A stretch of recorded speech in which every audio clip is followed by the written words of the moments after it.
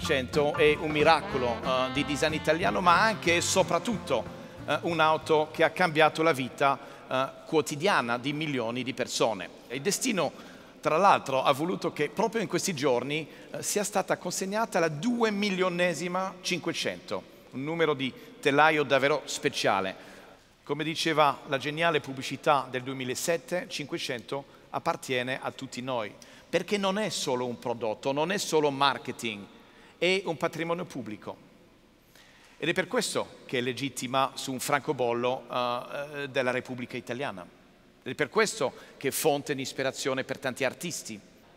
E oggi, anzi da ieri, la 500 è entrata nella collezione permanente del MoMA. Bene, essere al MoMA è un altro incredibile regalo di compleanno, un altro incredibile onore.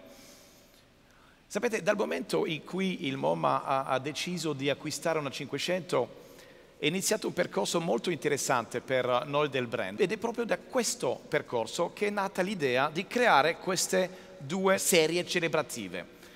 Fuori i colori, i cerchi e loghi sono chiaramente ispirati a quelli storici della 500 e ci parlano di identità.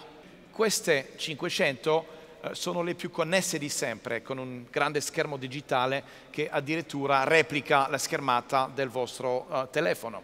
Per me in fondo la 500 non è mai stata una macchina, almeno non solo. È un oggetto di desiderio, un cult, un'emozione unica.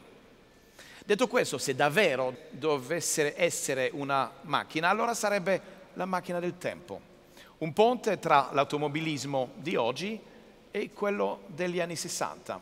Questa storia non ve la racconterò io perché si tratta di un cortometraggio. Protagonisti di questo corto, la 500, di ieri e di oggi, e un suo grande amico, il premio Oscar eh, Aden Brody. Oggi celebriamo un doppio compleanno, quello della prima 500 nata il 4 luglio del 57 e quello della 500 di oggi, nata il 4 luglio del 2007. Tra queste date e oggi passa tutta la storia moderna dell'automobile, una storia in cui 500 ha lasciato un segno profondo. Questo per una ragione precisa. La 500 non è mai stata solo un'automobile. Nel 57 500 fu quindi il simbolo della rinascita italiana. 50 anni più tardi, ancora 500 segnò l'inizio della nostra rinascita. Il punto di svolta della Fiat abbiamo messo nella 500 il meglio dell'Italia e lo abbiamo saldato con le nostre ambizioni e la nostra voglia di futuro. Tanti auguri a 500 e grazie a tutti voi.